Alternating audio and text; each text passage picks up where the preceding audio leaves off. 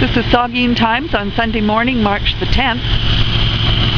We are at the site of the historic Dunkeld Hotel or Inn, which was built in the 1800s and is now almost entirely demolished by fire. The call came in at 3 o'clock this morning, according to sources, and firefighters are still here trying to put out hot spots. Highway, or Bruce Road rather, 3 was closed. It is now open to traffic. But firefighters, as I say, are still here at the Dunkeld Inn in Dunkeld on Bruce Road 3.